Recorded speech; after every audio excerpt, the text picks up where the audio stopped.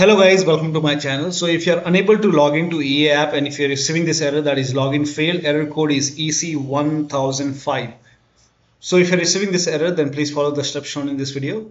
First of all, let me inform you that if there is any kind of uh, like server issue, like if servers are down, EA servers are down, then you might face this problem or if EA servers is under maintenance, if there is any kind of outage, then you might face this problem. Then in that case, you have to wait for some time and after that you have to log in. But if there is no maintenance, no outage, nothing from EA side, in that case, close EA process in task manager. So make a right click on the start menu and then click on task manager. And then find any EA EA services over here. So make a right click on EA app and then click on end task. And then if you find any EA process over here, make a right click and then click on end task. Now you can launch EA app and then check. Now still you are receiving the error. In that case, the next step is to log in with another account and then after you log in, log out and then log in with your account which you want to use. Now this has worked for me. I don't know why, but this has worked. So uh, you can log in with any other account. If you don't have any other account, you can create a new account. So you can create a new account on even on EA website. If you face any problem on EA app, then you can go to EA website and then create a new account. If you don't have any account, I have another account. So you can just log in with another account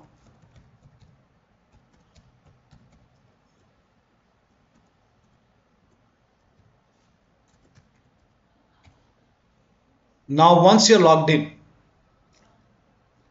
I was receiving this error message five minutes ago. Now I logged in with another account. Now once you're logged in, now click on sign out.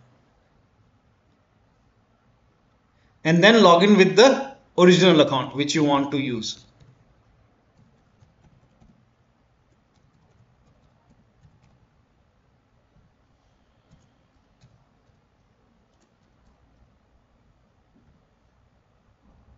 So i'm using another account. So first of all log in with some different account and then you can log in with the account which you want to use. And then that should fix the error. It worked for me so it might work for you. You can try this.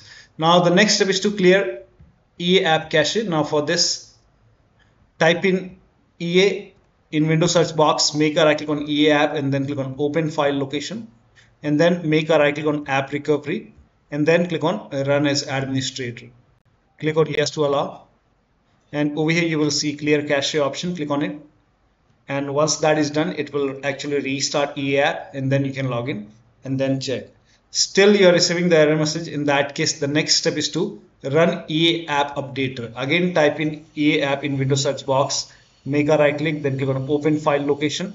And over here you will see EA app updater option so make a right click on EA updater and then click on run as administrator. Click on yes to allow. Now if there is any kind of update it will let you know. So run this EA app up updater and then you can now let me inform you before you run EA app updater close EA app run EA app updater and then relaunch EA and then check. Now the next step is to repair EA app. Now for this, type in control panel in Windows search box and then click on control panel and then click on uninstall a program and then select EA app and then make a right click then click on uninstall. Now before this, close EA app. In my case, EA app is open. So let me close this and then click on retry, click on repair.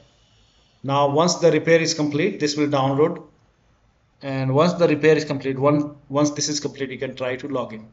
Still you are receiving the error. In that case uninstall and reinstall EA so you can get Revo uninstaller so you can install this from Google. You can in Google you can type in Revo uninstaller and then install this Revo uninstaller. Install the free version. It's it's for free. Install the free version and then open Revo uninstaller and then select EA app and then make a right click and then click on uninstall. Then click on continue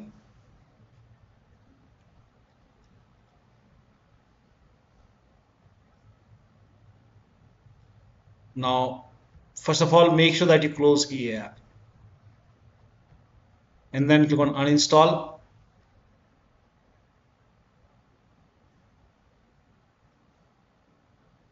Let the uninstall complete. And once uninstall is complete just wait for a few seconds. Make sure that it is completely uninstalled first